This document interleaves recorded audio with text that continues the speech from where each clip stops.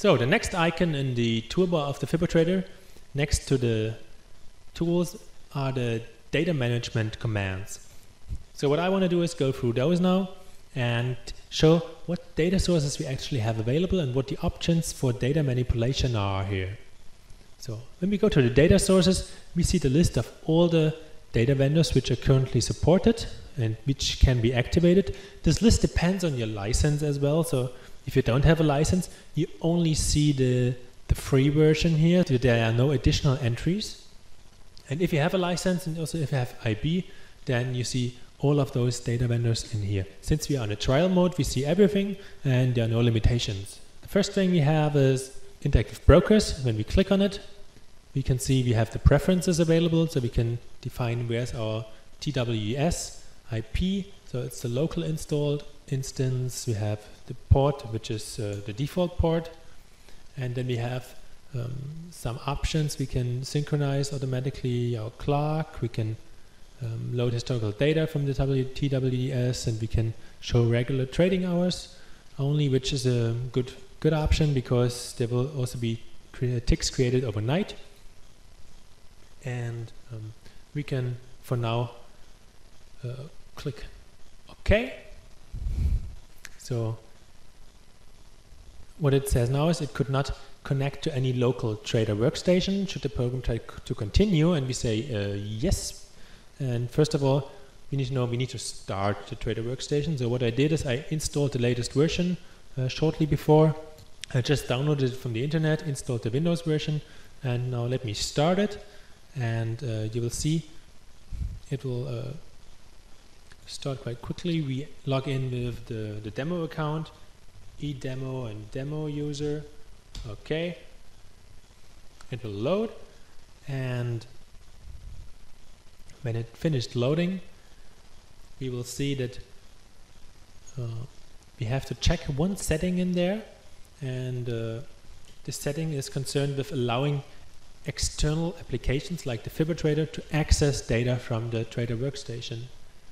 So um, there's some messages which we ignore for now and there is a preference section. It moves from time to time since there are changes in the uh, in the program but here's an API section in the preferences and then you can have uh, settings and there's this flag here which is called enable ActiveX and socket clients and there needs to be a check mark otherwise the FiboTrader cannot connect to this application. And here you also see the port. So it's the same port. We click OK. And we actually minimize it because we uh, don't need to see it. And we want to now reconnect and let's see what happens. Um, let's execute a search. Since we activated two data sources right now, we have activated, let's take a look, interactive brokers and internet delayed, which is the local database. We switch into multi data vendor mode right now. This will display some additional uh, selection boxes. So first, uh, the first one will appear in the search dialog. We can select the data source which you want to search. So currently it's local database. We switch to interactive brokers. There will be automatically a connection request to interactive brokers, which we have to accept. This is the warning from the trader workstation. We say yes. And now we're up and running. Um, we can select what type we want to uh, search. We want to select. We can select the exchange, which is coming directly from the interactive broker system. And let's say we want to check for triple M. Start searching. There's a little search icon and it will connect to the trader workstation and get all the stocks and what is happening is we will get triple M for all the exchanges when we scroll down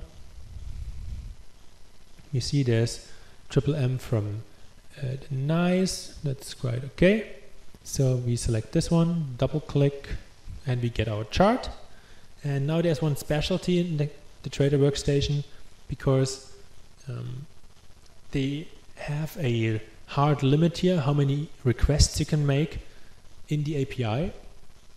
So if you want to load data, then you have to load it in increments and packages over a given period of time. So you cannot load everything at once. This is why you get this strange message from time to time.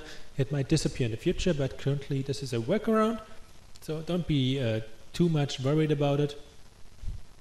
Um, it will simply I mean you have to wait a while for your uh, data, but once it's loaded, it will be loaded very fast. So let's switch to a five minute interval for two days and uh, now the system will load the data and here you can already see it. We have loaded uh, two days, we just have to wait until this, uh, waiting period is over and um, the data is coming directly from the trader workstation now. It will uh, be refreshed automatically via push, so we don't need to do anything. Data will be updated automatically. And uh, there we are. Now we have, we see the age, and we see that it's updating over here. Since this is a demo account, I think this is a uh, fake data, so it's not the real one. But in our example, it doesn't matter. Um, we see the vertical dividers for the days. So this is yesterday and this is today and um, we can simply continue our analysis um, as we want to. So now we are in real-time push mode. Data is coming in. Um, simple as that. So what we have down here is an example of some catalogs. So the catalogs are also divided now by data vendors. So we have the local database, which are the catalogs we had loaded before and now there are also some catalogs available for interactive brokers but basically you have to use the search and simply search for your uh, symbols here entering the search phrase or the exact symbol then you can save your symbols into a folder so you don't have to you don't have to search them all the time so let's say I get rid of my portfolio of the content and I use it for interactive brokers data um, so I take triple M, perform action, and I can either copy it to the clipboard or copy it to the folder. And I will copy it to my portfolio. Okay. And there it is down here. So for the future, I can simply double click on this one and have the data loaded inside of the system. One interesting fact to know is it will load the data day by day. So this day is now coming from a locally cached version, so it's not requested from the trader workstation anymore for speed increase, and only this data is incrementally updated. So this is very quick and uh, doesn't consume a lot of resources.